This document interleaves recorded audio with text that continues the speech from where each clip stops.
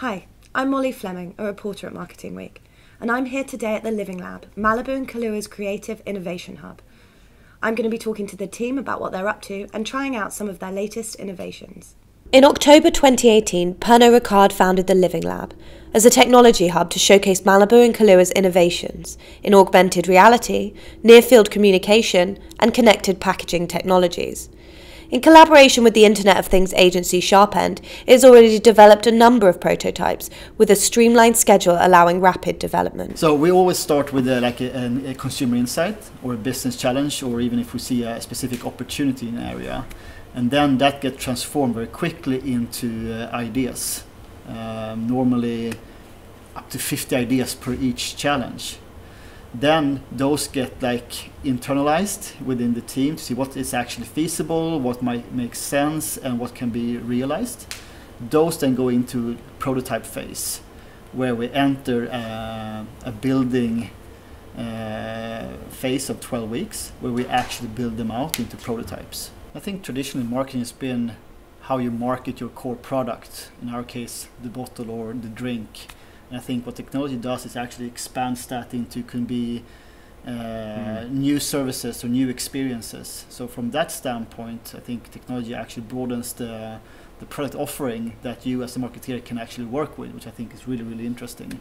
And, and, and secondly, I think we, we learn a lot as well about new technology and we know where we need to place our bets moving forward. Living Lab has created a whole host of prototypes for both on and off trade.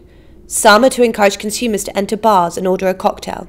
There is a sandwich board with built-in screens that provides personalised messages for consumers walking by, and a Bluetooth transmitter that can send branded messages to people's phones via an app to promote deals in partner bars that are close. The Living Lab's innovations don't just focus on bars.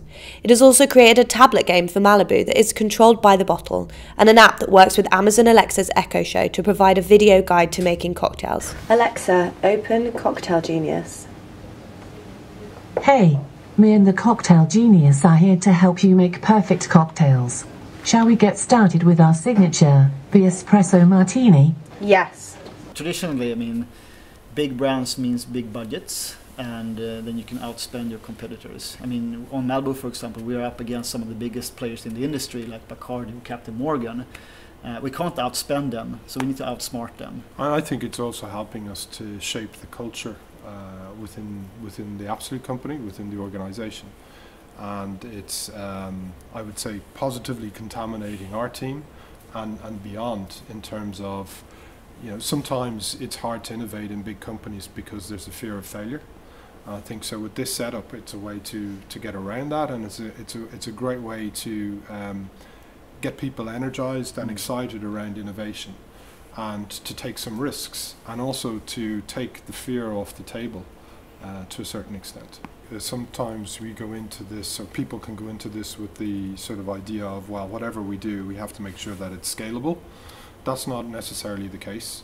Uh, sometimes it's just good to innovate and experiment to get some learnings, and then sometimes we, you know, we need to kill things pretty quickly because we find out they don't work and then we move on to mm. the next the next opportunity area. The Living Labs effect has gone beyond products, with its attitude towards speed and failure changing the outlooks of those who work within it. It learned us to become faster mm. in all aspects of our business. I think it has been spilled over into NPD innovation, into communication, uh, and I think that's really interesting as well. I think fundamentally consumers today they want more convenience, they want enhanced experiences so everything that we can do to try and deliver on that using technology, in my opinion, is a good thing. Yeah. The fundamentals of marketing haven't changed, but the how is changing and changing quite rapidly.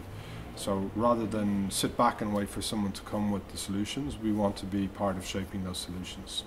It's hard to predict what it's going to look like in five years' time, but it's definitely not going to be uh, where we are today.